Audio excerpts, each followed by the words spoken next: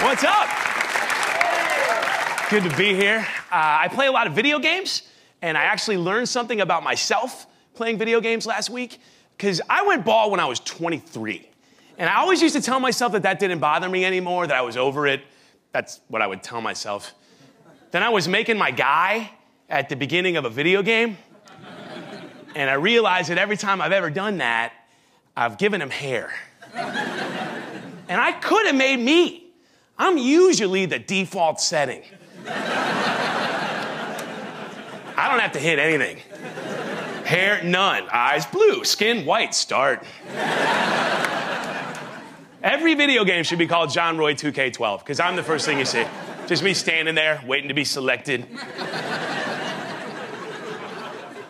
I think my cell phone is making me dumber. I used to know any phone number anyone ever told me ever. Now they're all on the phone. There's Jack up here. If I lost my phone now, I couldn't even call my dad. I don't know my best friend's phone number. People are like, what's Kyle's number? I'm like, Kyle's number is Kyle. you hit Kyle. That's after Kevin. That's all I got. If I lost my phone, I'd have to get all new friends. I'd be like, screw it, I'll meet people. I'm not gonna track these people down. I like living in LA though, I really do. It's cool, it's a diverse city, so it's weird when you still hear racist nonsense, and you still do, but it's like a surprise. Like two white guys were behind me in the mall, and one of them goes, There's so many Mexicans in this city, it might as well just be a Mexican city. and I was like, Yeah, because it was. Until 1847, when we conquered it. If you don't want a city full of Mexicans, don't conquer one. We took the whole southwest from Mexico. We even left their name in one of the states. We called it New Mexico. you know what the new part was? Us. it's not like they left when they saw us coming. They just let us switch the flags, pretty much. They were like, we still work here, right?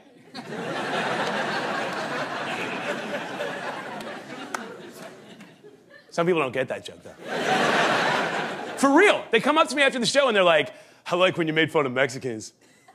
I'm like, I didn't. One of us is a moron. I think the most ridiculous racist thing you'll hear, though, sometimes white people will say this. They'll be like, Well, I don't go to the movies with black people. They're loud, they can't control themselves. And when I hear that, I'm like, okay, now you know how they feel when they're in a bar full of white people and Sweet Caroline comes on.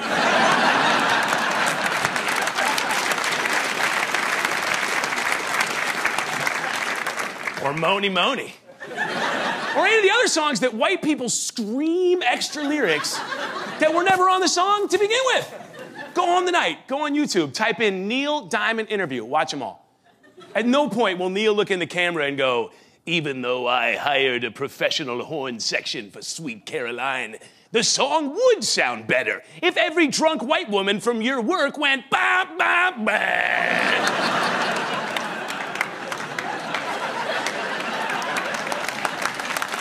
You. Now, I'm not perfect. I have some racial nonsense in my head that I gotta get rid of too. And it's embarrassing, but it's still there. Like, I freak out a little bit when I see black people doing things I don't expect them to do culturally. I will explain. you see eight white guys in Jay Z shirts, you think nothing of it. But you meet that one black Pearl Jam fan, and your brain just melts. And every white rock concert's got at least one black guy there, right? And he knows the words, he's singing along, and you're like, really?